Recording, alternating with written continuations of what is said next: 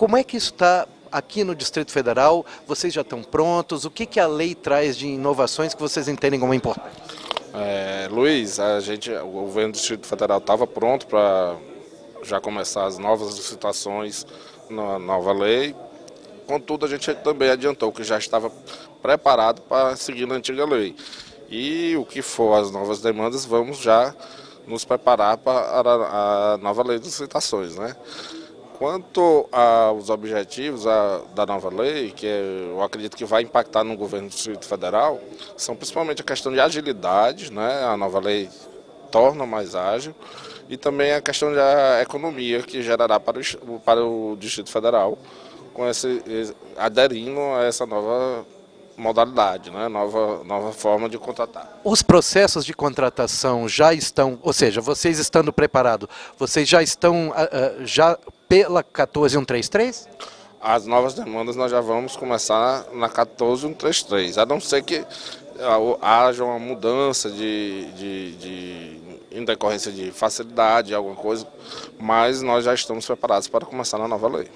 Em relação ao universo de compras de TIC, é, eu entendi que você mencionou no evento que vocês já têm alinhados algumas contratações aí, inclusive questões de nuvem. O que, que você pode nos adiantar que vem aí de compras que vocês já estão preparados para fazer de TICs? Nós temos em aberto para, para o 2023 ainda a questão de nuvem, né, que nós ainda não batemos o martelo, mas há uma, há uma grande possibilidade. É, questão de é, hiperconvergência, parte de hardware, nós vamos comprar roteadores na área de TI, né? Roteadores, é, storage, solução de backup, é, que mais está no nosso, no nosso radar ainda para esse ano.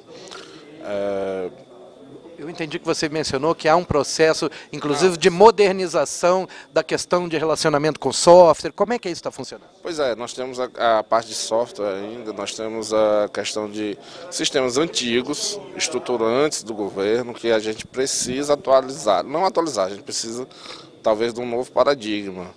Mas é uma, ainda é uma discussão interna e é e nessa, nessa questão cultural de é, contratar o serviço ou comprar o software e, e ou ter ou, ou, adquirir o software de outro estado, doação e, e só fazer a manutenção, ainda nós, nós estamos ainda nessa mudança de paradigma, que é muito complicado. Existe uma barreira cultural, portanto, para essa modernização. Muito cultural também, tanto de servidores, de gestores. E, mas nós estamos tentando mudar esse paradigma. A gente acredita que a, a contratação do serviço ela é mais ágil, as mudanças do que a compra e man, manter, porque o, o, Estado nem sempre é muito eficiente nessa área de manter, de atualização, e a iniciativa privada é muito mais ágil. Então, acredito que a, a contratação de serviço é o futuro né, né, né, nesse, na contratações de tecnologia da parte de software.